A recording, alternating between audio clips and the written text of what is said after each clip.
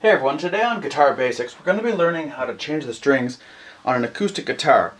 Uh, but before we start, the first couple things you're going to need is you're going to need a pack of strings, uh, you're going to need a tuner, you're going to need a tool to cut the strings.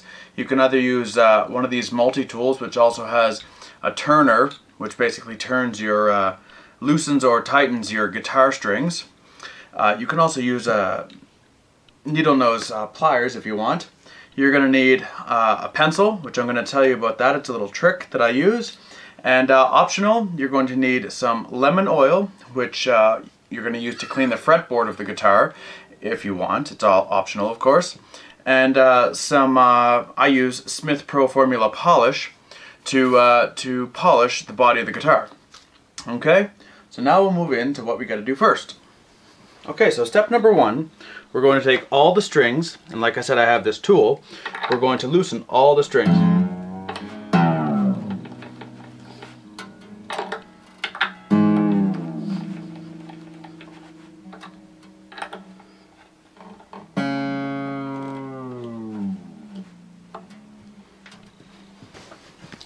Okay, once you're done loosening all your strings, we're going to cut them one by one. I'm going to use my tool here that I have to cut them. Uh, just hold one part of the string and cut the other one. Doesn't really matter where you cut it.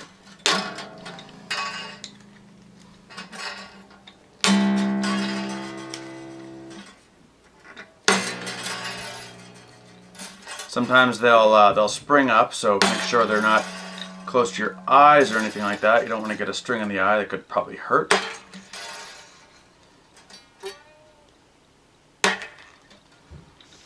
Okay, now that we have everything uh, removed, what we're going to do is we are going to remove the strings from the headstock. So removing the strings from the headstock is no real magic. Uh, all we're going to do is we're going to untwist them like so, and then pull them out. What I always do, just so it's easier when you throw them in the garbage, is I twirl them up like this so that they don't, uh, you know, break the garbage bags and stuff like that. Nothing crazy.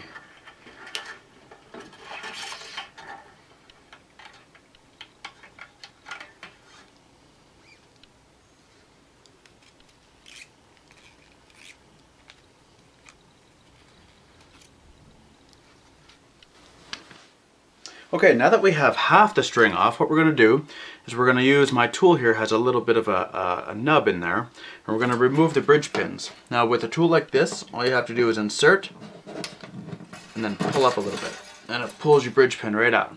Now don't lose these, because you're going to need them, of course. So take each string out,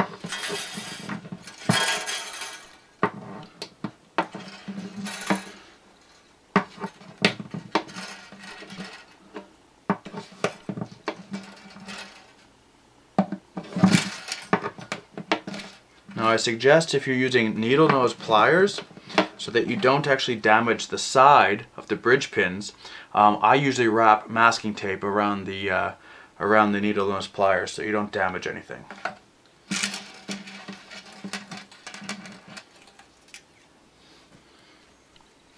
Okay, next step. Okay, this is when the optional part comes in. Um, if you'd like to keep your fretboard nice and clean, I suggest using lemon oil. And all you have to do is get uh, a microfiber cloth and just put a little bit on. Just a little bit. And then just rub it into the wood.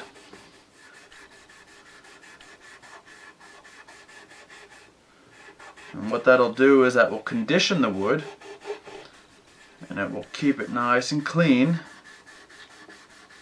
and stop it from uh, from bowing or drying out or anything like that. And just go all the way down the neck. Okay, once you've got the lemon oil on all the strings, you want to wipe off the excess so that you don't have your wood actually wet. It's just meant to condition, it's not meant to stay on there. So once you get them all, uh, all covered, and you get the oil rubbed in, just make sure you wipe all the excess off, like so.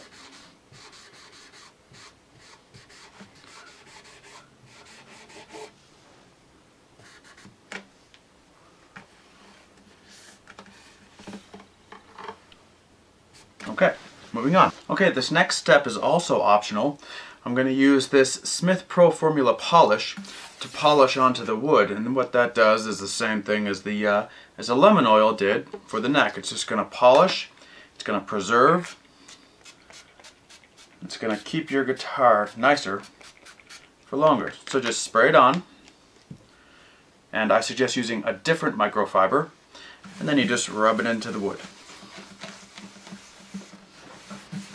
You can use this type of polish on a satin finish and also a laminate finish.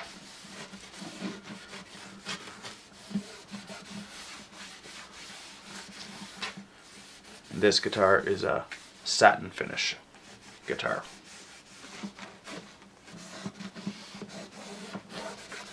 Just get it all rubbed in. And then do the same for the sides and the back of the guitar.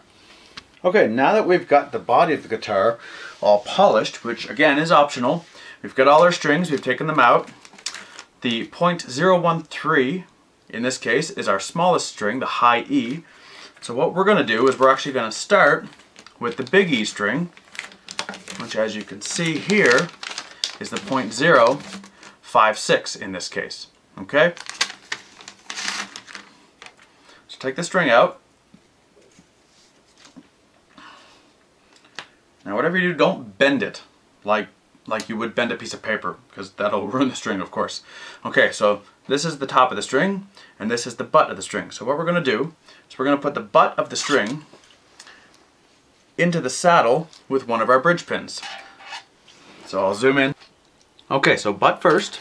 This part's going to go and you just have to slide it in just a little bit. Not very much, just a little bit.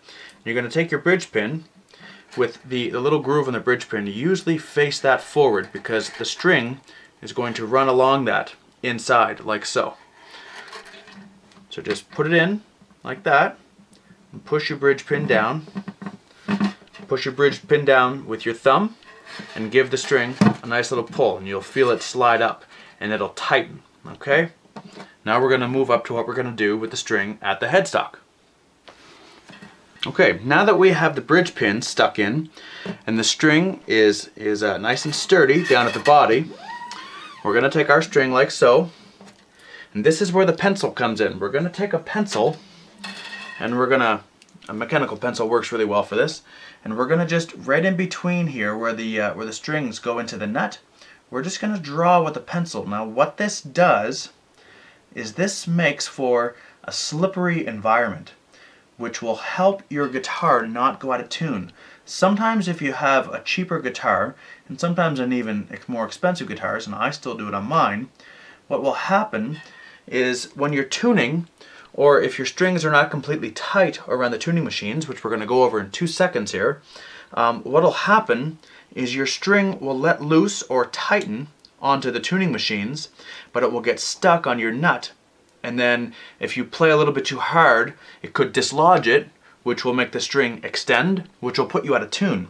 Now what this does, putting the lead in here, is it makes it so it slides so it won't get stuck. It's a really, really great little trick that my guitar teacher taught me years ago, and I've been using it ever since. It really helps to keep your guitar in tune. So now that we have that done, we'll take our E string,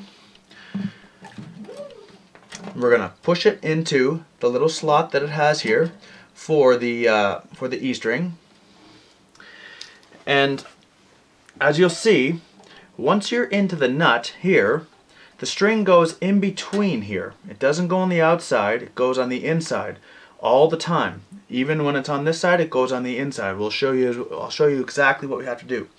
Now for me what I do is I pull it tight hold it at the nut here so that it doesn't move, as you can see. And I usually wrap it around once and hold it. I take my thumb and I put my thumb in there so it won't move. Sometimes one loop around will do, sometimes it won't. We'll do two. I'll hold it with my thumb here and then take the string and then push it through the hole.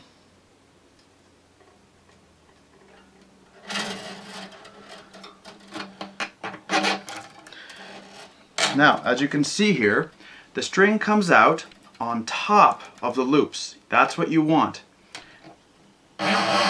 So if you hold, push, okay, now this is what you have. Now this is when you don't have to worry about this part because you're going to cut it off. You can take this, give it a push, and really pull it in like that, okay? Now that we have that done, we can cut this excess off. So with our cutter, don't cut too much, but we'll cut it just here for now, just in case. Just in case we need to pull it again. Now that that's cut, we take our machine and we tighten the string.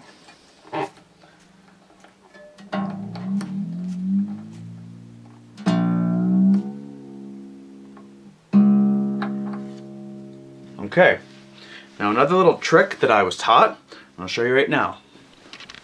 Now a good trick to make sure that your string gets tightened around your tuning machine just perfectly is to hold your string with your hand probably between the third and the fifth fret and take this part of your string and pull up just lightly. And what this will do is this actually, this pulling up motion takes the string from here and it pulls it back so it tightens it. And you can see what I mean. Listen to the tone. Okay. Now I'll do it again. Now remember, listen to this. Hear that note? And see how much it tightened? Now this is also a good time to bring in your digital tuner and you can tune this big E string. Right now I'm at a C sharp. That's pretty low.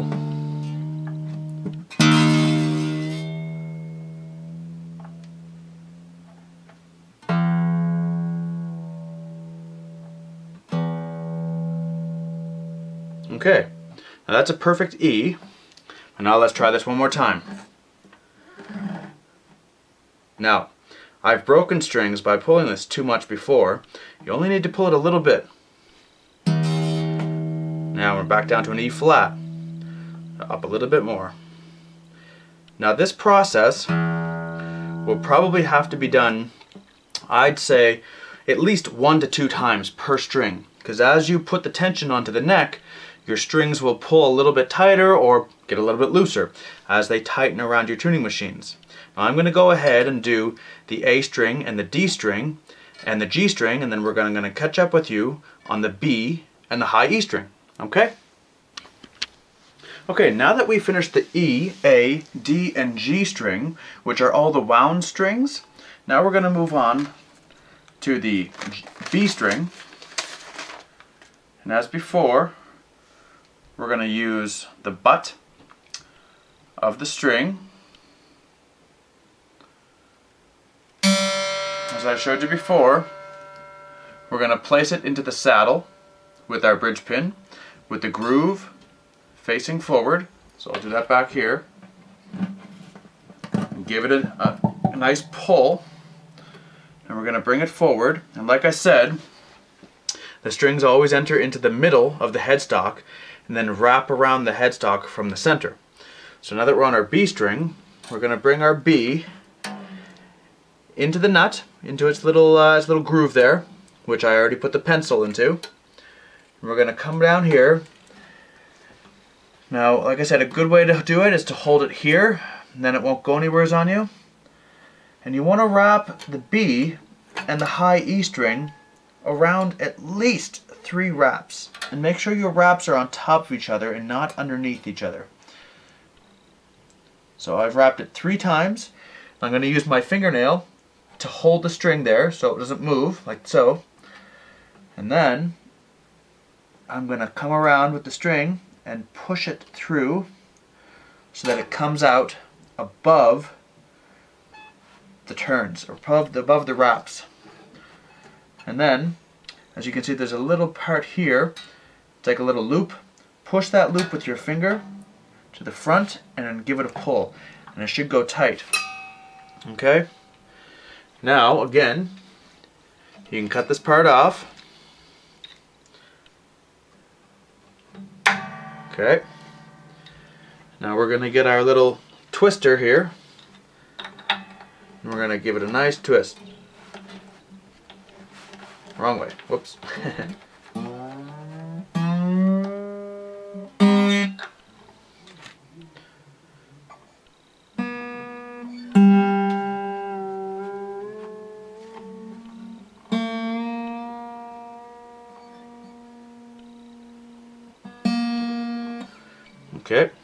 like before, I'm going to put our hand on it like so. We're going to grab the string, I'm going to give it a few light nudges.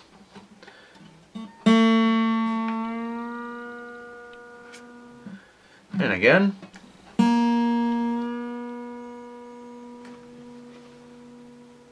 Okay, now we'll get our tuner.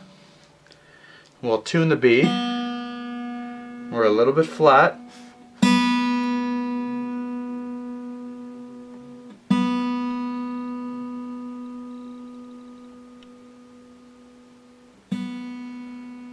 Okay, there's pretty much perfect B.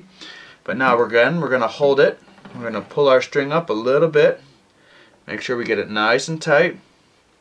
Now let's test it again. Oh, we're flat again. So you'll have to do this a few times until the strings stretch. They have a little bit of a stretch in them. So you want to let them stretch and let them settle just like anything else. Okay, now that's a B. Now we'll do it again. Give it a little pull. Let's try it now. A little bit flat again. Okay, now we'll move on to the high E string, the last one. Okay, last string. So let's get our high E string out. We'll get our last bridge pin here. And again, we'll get the butt of the string. And you'll get quicker at uh, changing these strings as you go along. After you do them probably about two or three, maybe three or four times, it just becomes second nature. But it's good to learn how to do them properly so that, uh, well, first of all, it's going to keep your guitar in tune. Your strings are going to last longer because if you uh, if you wrap them in properly, it can cause bends, it can cause twists, and then they just the strings just won't last. So again, like we saw here, just going to put it into the groove, hold it at the groove with your thumb or your or your index finger, whichever you want. And again with the high E, we're going to wrap it around the tuning machine at least three times. If you can get it four times, that's good too, but at least three times. I've done it three times. Now I'm going to thread the end of the string through here. I'm going to make sure again that it comes out on top of the loops. And then I'm going to give it a nice pull. Okay, now this part can be can be taken off. So we'll cut this excess away. And then we will tighten the string while we hold our thumb on the other end, like this, onto the, uh, onto the bridge pin. You don't want that coming out. Sometimes the tension will pull it out.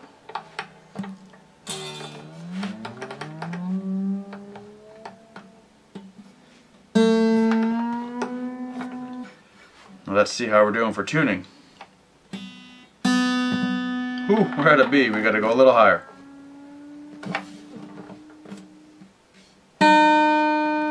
E flat, so we gotta go one step higher.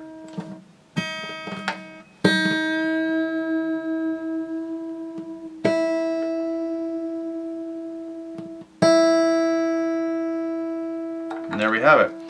Now again, we're gonna do this little trick here. So fingers on the fifth to the to the third fret. Give it a nice little pull.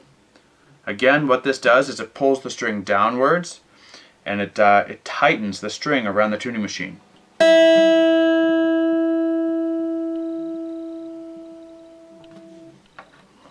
One more pull.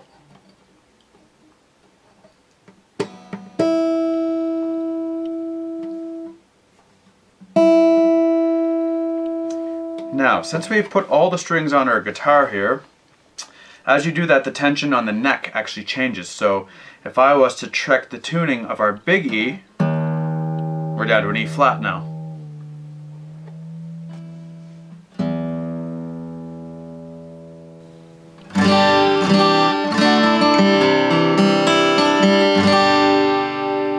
All right.